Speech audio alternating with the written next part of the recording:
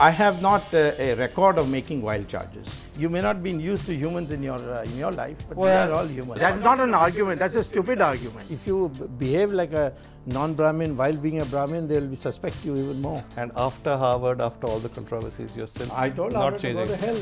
So that means how strongly I feel about this. Subramanian Swamy may have turned 80, but he doesn't seem to be in any mood to slow down. Through our archives, here's a look at what made him a consummate politician of contrarian views, a relentless crusader, and an opinionated academic. Swamy is no stranger to controversy. It's no use just giving speeches anymore. People are fed up with speeches and walkouts in parliament. They want action. If you look over the last 20, 30 years, uh, not 30, 25 years, I would say I would have fought about on public interest, about 45 cases, and I won almost all of them.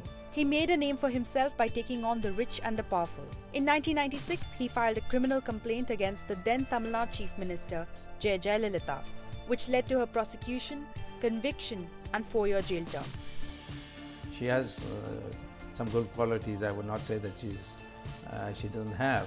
But the problem is that she is surrounded by mafia elements, and therefore she will not be able to come out of that.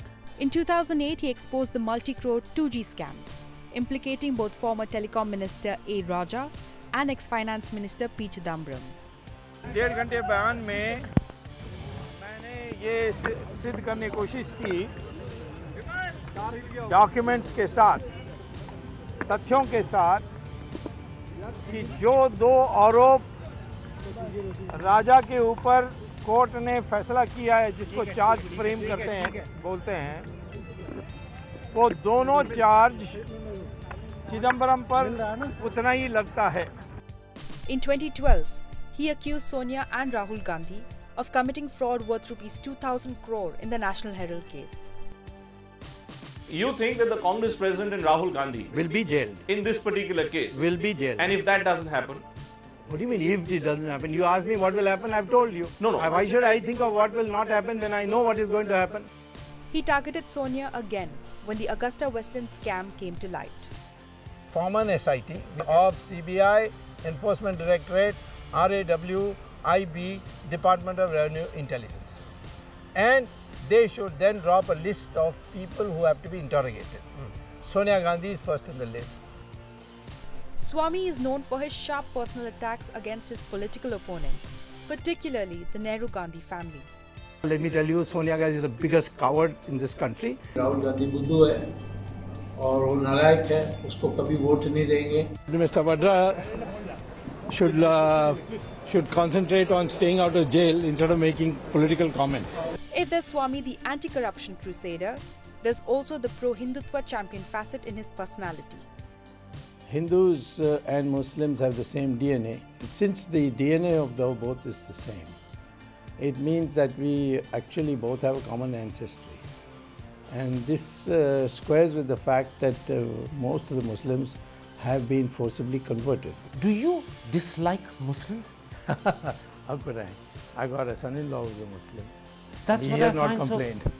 He hasn't complained. yeah, he hasn't complained. Your son-in-law has no objections to I your know, views. I, I can't say whether he has objections or not, but he hasn't complained to me. The Hindutva of what happened in Gujarat or Babri Masjid is a targeting of, of another community. And, uh, you know, I, I was not in favor of that. In 2016, he filed a plea in the Supreme Court for construction of the Ram temple at the disputed site in Ayodhya. And I produced the only argument which is unbeatable argument that we have a fundamental right to worship and what the Muslims are asking for is a right to property. So therefore, uh, uh, I have done it without the government. Swamy's political leanings have always been to the right. He was elected Rajya Sabha MP five times between 1974 and 1999. First on a Jansangh ticket, then by the Janta Party. He served as president of the Janta Party until 2013, when he merged his ragtag outfit and joined the BJP. But his combative nature doesn't always win him fans. Well, I think the comment I've heard most of all is that I'm unpredictable. Vajpayee asked once Mr. Na- Narsimha Rao, how can you manage this man? He says, depends on how you treat him. Are you saying, are you happy with the BJP? Of course I'm happy with the BJP. Do you feel proud of being a BJP member? Of course I'm proud to be a BJP member. But I have, I have views. I am an educated man. I'm bound to have views. Swamy has openly taken on the BJP on several matters.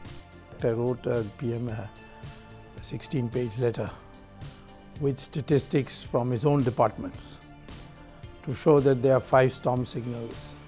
I said the growth rate is lower than what is being told to you and that it is going to decline. But for all his friction within the party, Swamy is clear where he stands with the top leadership. Uh, the Prime Minister and I have been meeting occasionally uh, and we, have, we are of one mind and uh, we have known each other since 1972.